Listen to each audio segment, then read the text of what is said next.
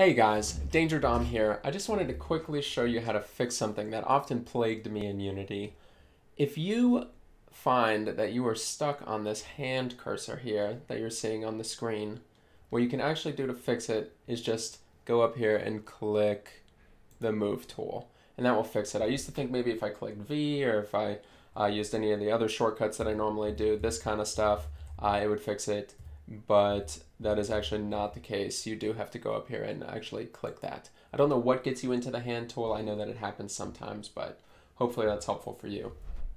That's it for today. If you found this helpful, feel free to join our Unity Game Dev Discord. It's got a lot of great people in it, a lot of people who want to help other people team up, make awesome projects. So the link to that will be in the description below. Have a good day.